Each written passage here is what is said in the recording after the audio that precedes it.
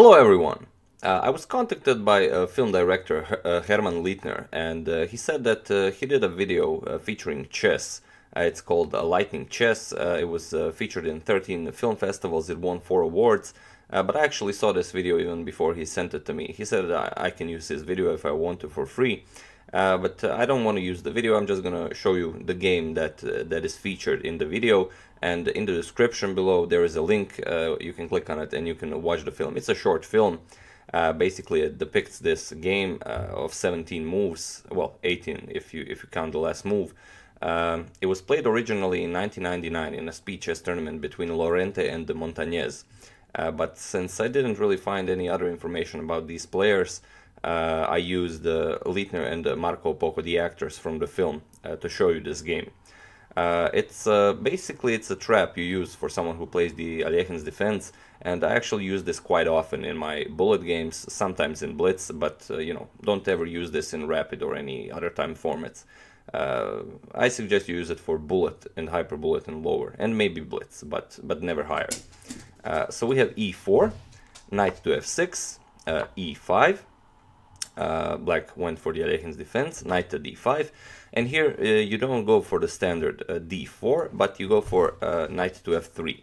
Uh, d6 now, as black will always play this move, uh, bishop to c4. black, black responds with knight to b6, and here the normal move would be bishop to b3, and the game continues. But this is this is the trap. you play bishop captures on f7. And uh, like I said, for bullet and blitz games, black will have to be extremely careful not, not to blunder this game away. Uh, so king captures on f7 and knight to g5 check. Uh, if black plays anything other than uh, king to g8, uh, you're going to have a great game. If the king, for example, goes back to e8 or, or g6, uh, you don't really have any problems here. king to g8 is the best move, and black still has the advantage here.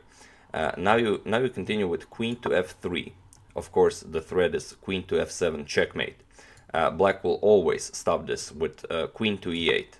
Uh, and here you push e6. Here black will uh, consider the position, he will think about a couple of things. Uh, he can't capture the e6 pawn, the knight is protecting it. Uh, but when I when I play this trick in bullet games, sometimes black does go for bishop captures on e6 because they don't find anything better. Uh, in this game, uh, knight to c6 was played, and of course this allows uh, for an immediate checkmate by white.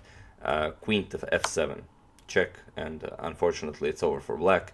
And uh, you, you won't believe how many uh, Alekhine defense players will miss this. Of course, queen captures on f7 and d captures on f7 with a beautiful pawn checkmate. I had a lot of I had a lot of games where after e6 uh, some players even played h6, kind of to kick my knight away from g5. Uh, then they have an escape route for the king. They can capture the pawn on uh, e6, but uh, uh, unfortunately th this fails uh, to the same move. Queen f7. The guard is still, the knight is still guarding h7. still, you get the same idea. the only problem you will have if after e6 black responds with the g6, but this is very unlikely to happen in a bullet game. So if he goes if he goes g6, then black is still better. But you know, uh, his king is in g8. He won't be able to develop the rook on h8 for quite a while, and uh, you're you're welcome to play you know this game. so.